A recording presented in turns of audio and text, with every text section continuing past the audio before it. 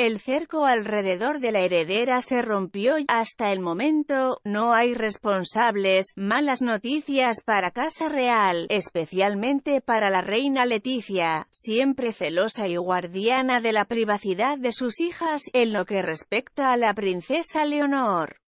A tan solo pocos días de su regreso a España después de dos meses de ausencia por motivo de estudios en el colegio Atlantic College, la heredera se enfrenta a su primera fuga de información y, para más INRI, ha ocurrido ni más ni menos que desde el mismo elitista colegio que hasta el momento, había podido garantizar un periodo lectivo, cuando la princesa Leonor acudió en agenda conjunta con su hermana, la infanta Sofía, a la semifinal de la Eurocopa femenina que se disputaba en la ciudad de Londres. Muchas voces en su oportunidad afirmaron que, de las hermanas, la Benjamina fue quien más disfrutó de la contienda, pues la heredera al trono no era una gran aficionada deportiva, pero ahora la versión queda totalmente desmitificada.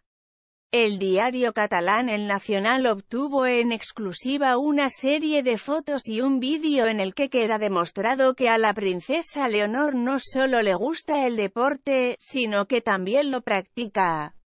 No será el fútbol como sucede en el CAP, ni una sola foto se había escapado de la primogénita del rey Felipe en alguna otra actividad como en medio de alguna clase, por las inmediaciones del centro de estudios o en el comedor, sino en esta actividad en la que no hay otra opción sino olvidar el posado, la circunstancia y la pompa para sudar y correr cada tanto.